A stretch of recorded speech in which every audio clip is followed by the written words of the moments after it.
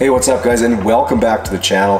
Now in the last few videos there's been a whole pile of work done on the house and I began the prep work for all the trees that I'm going to be planting so that is exactly where we're going to pick things up in this video.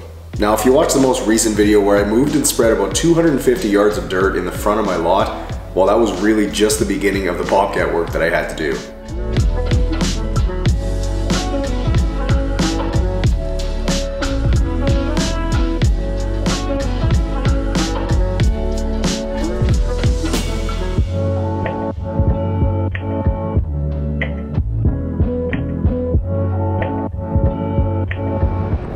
Front of the lot was brought up enough, I also had to bring in and spread topsoil so that my trees have some good soil to grow in, but I also plan on seeding some grass up front as well.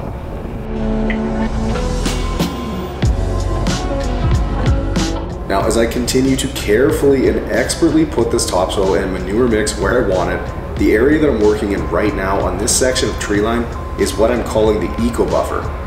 Going forward, you're going to hear me refer to it as that a lot, and while it might sound like a nonsense word, it's short for ecological buffer, and basically what it is, is a thick and dense planting of trees and shrubs that provides many, many benefits over a traditional tree line or shelter belt. I'll get into more of the detail behind it and what my specific plan is on this side of the art a little bit later in the video.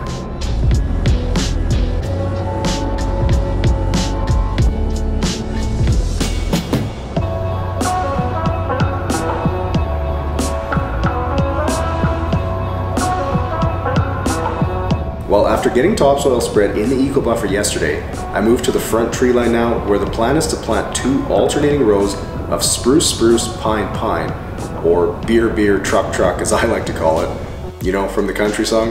But anyways, I was out here moving dirt early this morning when one of the workers from the house came running across the yard to tell me that there was a fire in the house.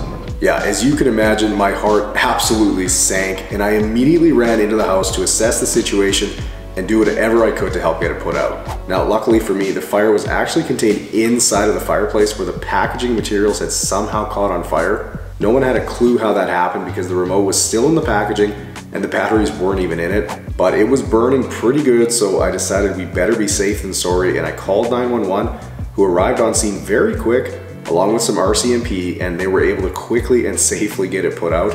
But of course, the fireplace was a total write-off and had to be replaced. A little later that morning and I continued my work over on the other side of the yard where I used the Bobcat and the auger to drill a bunch of holes for some beautiful spruce trees. Then got all those planted along with a nice thick row of three different species of lilac. So at this point now I've got topsoil spread along the perimeter of the yard for all the different tree lines and the eco buffer and you'll also notice that I've got the entire outside portion of the fence done I was working on that in the recent day in the life video where I ended up using 54 inch tall stucco wire for the fence. Now I'm also going to be fencing the inside of the tree line as well once everything is planted. That way the rabbits won't be able to get in and the deer, well, obviously they can still jump over the fence, but I'm hoping it's just enough of a deterrent that they'll go and eat my neighbor's plants and trees instead.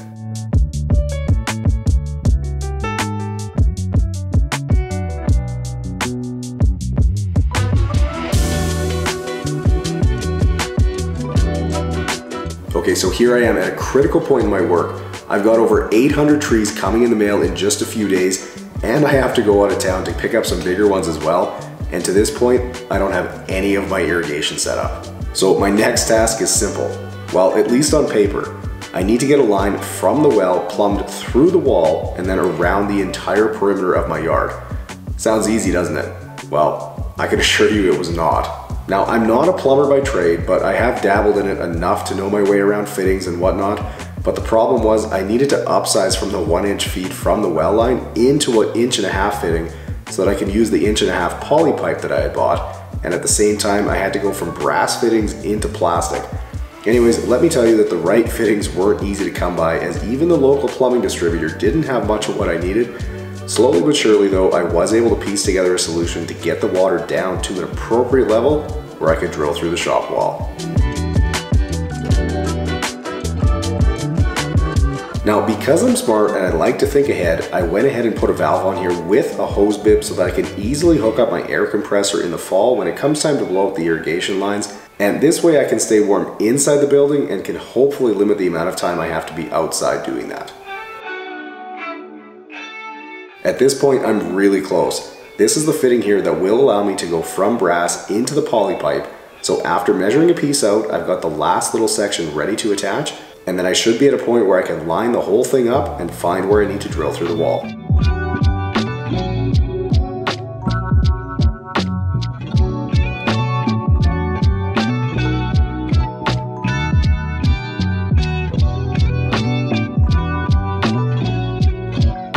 Right around this time, I got a notification saying that my 800 trees had been delivered, so I quickly ran home to pick those up as I didn't want them sitting outside in the sun.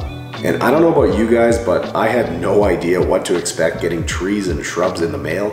It looks like most of these are really short little sticks and they're packaged in bundles of three to five, depending on the variety. Now, as for what I ordered, there's blue spruce, Scots pine, oaks, silver maples, poplars, birch, ash, lilacs, nine barks, and many more.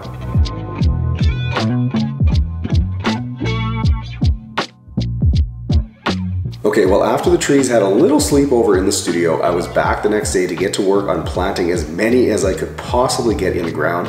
Though before I get to that, it's probably a good idea to explain why I have over 800 trees and shrubs. So like I mentioned earlier, I'm doing what's called an eco buffer on the one side of my yard. And an eco buffer is defined as a new shelter belt design that incorporates a variety of native trees and shrubs in a narrow, dense configuration that captures the site quickly, reducing the need for long-term weed control.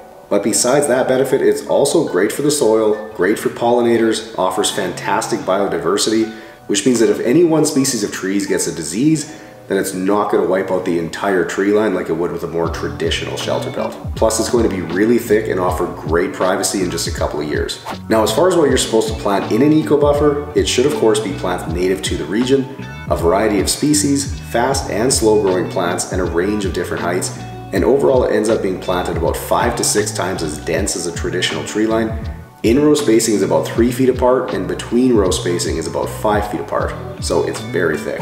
As for the design, I went with a 5 row design and this is what the overall layout should look like. Obviously I knew keeping all that straight was going to be a challenge, so I made sure to measure and mark everything out with flags that represent the different kinds of trees and shrubs, and also managed to sneak away last night to go and pick up the 80 or so larger blue spruce trees that I'll be planting in the eco buffer and in the other sections of tree line as well. Okay, so now I've got nearly 900 trees and shrubs that I need to get in the ground, so I'm going to have a very, very busy day.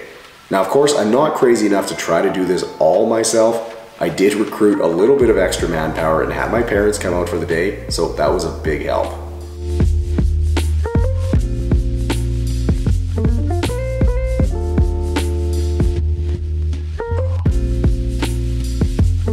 Now every time I plant a tree or shrub or any sort of perennial for that matter, I always put some water and bone meal in the hole to help promote root development and it's always served me well. I think I went through something like 10 pails of bone meal today as we work to get as many trees into the ground as possible.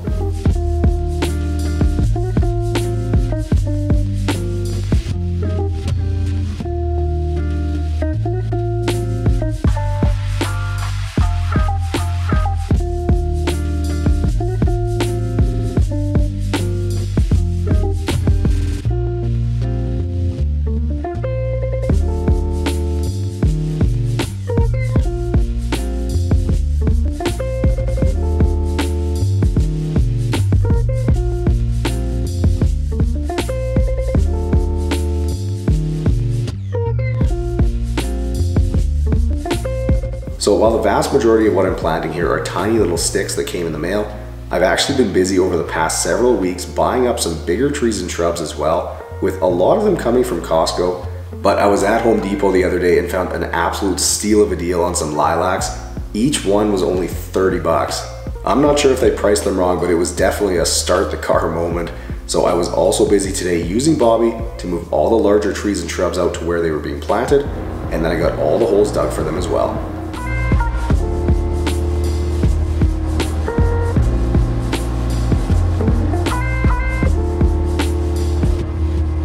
Okay, well with a good chunk of the trees and shrubs in the ground now, it's time to turn my attention to getting them watered, which at this point is pretty critical because I do not want to be stringing together garden hoses to try to water them all for very long.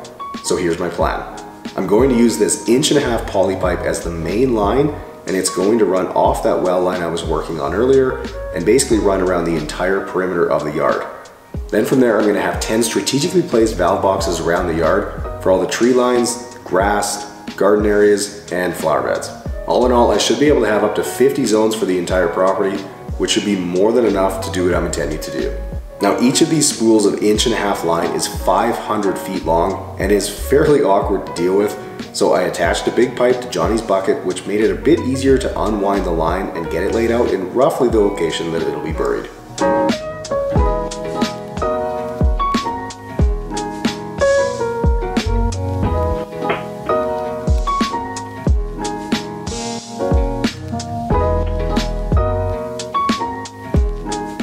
Expand on what I was saying earlier, the inch and a half line will feed each of the valve boxes, but I'm planning to use three quarter inch valves, so that means I need to make reducing tees to go from the inch and a half down to three quarter inch, and then from each of the valves, it'll just be regular three quarter inch line.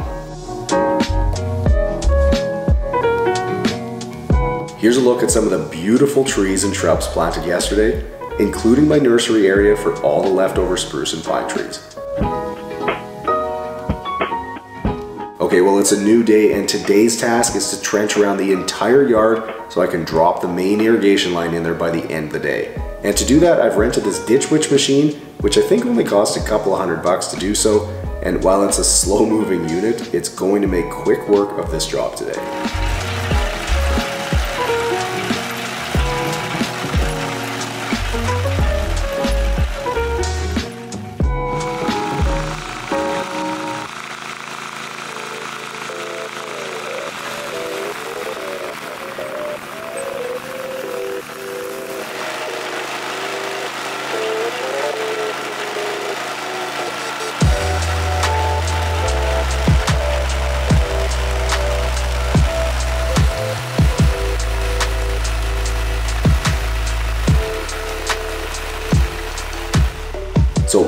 Do is put the trench around 10 to 12 inches deep and keep it roughly the same distance away from the inside fence line all the way around.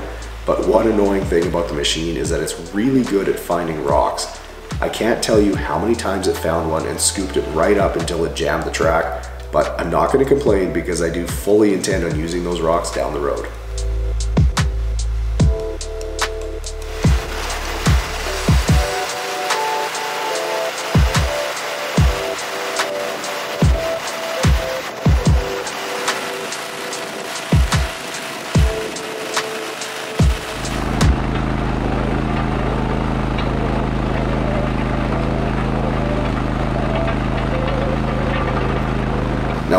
Exactly how long this took me today, but I want to say it was somewhere in the neighborhood of six to seven hours, as I had somewhere between 1,500 to 2,000 feet of trenching to do, as not only did I trench for the main line, but I also had to trench each of the lines that would tee off of it and feed all the valve boxes, and then I also trenched the line to bring power from the shop to each corner of the lane for future lights.